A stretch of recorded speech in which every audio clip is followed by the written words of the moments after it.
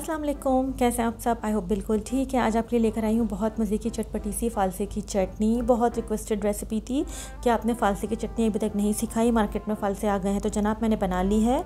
आपके लिए पेश खिदमत है फालसे की चटनी। तो चलें टाइम नहीं लेते, मज़ेदार सी चटनी को बनाना स्टार्ट कर लेते हैं। फालसे की चटनी बनाने के लिए आपको सख्त किस्म के जो कच्चे फालसे हैं, उनका इस्तेमाल करना है। जो नरम फालसे हैं, वो इस्तेमाल नहीं करना।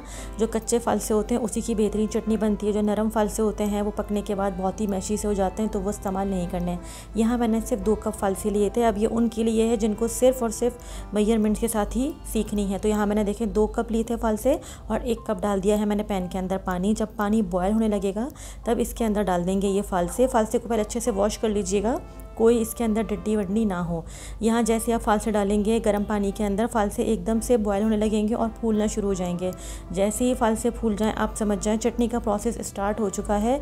इस टाइम आप क्या करेंगे, चम्मच चलाने के बाद जिस कप से मैंने फालसों को मैयर किया था, आप इसी कप से आप मैयर करके क्या लेंगे? चीनी लेंगे। अगर मैंने दो कप फालसे लिए हैं तो दो कप ही चीनी जाएगी, क्योंकि फालसे खट्टे होते हैं। आप चीनी जितनी भी डालेंगे ना, आपको ऐसा ऐसा लगेगा कि चीनी कम पड़ गई है। लेकिन दो कप फालसे के अंदर दो कप चीनी बिल्कुल एक्यूरेट है। अगर आपको लग रहा है कि खट्टी है, टेस्ट कर लीजिएगा तो आप हाफ़ कप चीनी इसमें और ऐड कर सकते हैं। यहाँ मैंने एक कप डाल दिया था। अब यहाँ पर मैंने दूसरा कप भी ऐड कर दिया है। बस अब यहाँ पर देखें, इसको अच्छे से जैसे ही मिक्स करेंगे ना चीनी बिल्कुल से डिज़ोल्व हो जाएगी। अभी चीनी देखें पक रही होगी। फ़ौरन ही आप इसके अंदर डाल देंगे एक टीस्पून नमक और अपने टेस्ट के अकॉर्डिंग डाल देंगे। हाफ़ टी स्पून जो है इसके अंदर चिली पाउडर मुझे यहाँ पे चिली पाउडर कम लग रहा है, इसलिए मैंने आगे चल के हाफ़ टी स्पून और ऐड किया था। ये डाल के आप इसको अच्छे से मिक्स करेंगे। आप जैसे इसको मिक्स करेंगे, एकदम से इसके अंदर आप देखेंगे कि बबल्स आना स्टार्ट हो गए हैं। बस अब यहाँ पर आपको इसका जो फ्लेम है ना, वो थोड़ा सा कम कर देना है, यानी कि मीडियम फ्लेम पे ले आना है और आप इसको तकरीबन सात से आठ मिनट के लिए कुक करेंगे। अगर आप ओवर कुक करेंगे ना, उससे क्या होगा कि फल से बहुत मैशी हो जाएँगे और बहुत ज़्यादा गल जाएँगे। इसका टाइम सिर्फ़ इतना ही है कि आप इसको सिर्फ़ सात से आठ मिनट तक कुक करें। इससे ज़्यादा नहीं करेंगे। यहाँ सात से आठ मिनट हो गए थे। यहाँ पे मैं डाल रही हूँ इसकी शेल्फ फ्राई बढ़ाने के लिए एक टेबल स्पून सिरका अगर आप चाहें तो स्किप कर सकते हैं, लेकिन मैंने इसकी डाला है क्योंकि इसको मुझे ज़रा लॉन्ग टाइम के लिए रखना है। ये डाल के आप इसको सिर्फ़ एक बॉयल और देंगे। अभी मैं आपको दिखाऊँगी कि कितने अच्छे तरीके से जो है ना फल से नरम पड़ गए हैं। बस इससे ज़्यादा आपको ओवर कुक नहीं करना है। यहाँ पर जैसे ही आप सिरका डालेंगे ना, एकदम से ना इसमें बबल्स आना स्टार्ट हो जाएँगे।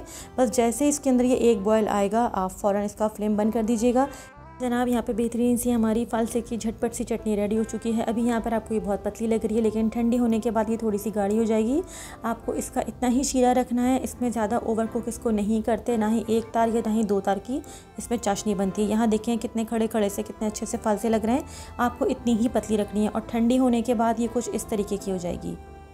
आपको इसको एयर टाइट कंटेनर में ही रखना है और जब भी निकालने हैं, फ्रेश स्पून के साथ ही निकालना है। आपको यूज़ किया हुआ स्पून इसमें नहीं डालना है। यहाँ कर लेते हैं टेस्टिंग। टेस्ट बहुत कमाल का था। तो अगली रेसिपी तक के लिए सबा फुरकान को इजाज़त दीजिए। दुआ में याद रखिएगा। टेक केयर अल्लाह हाफिज़।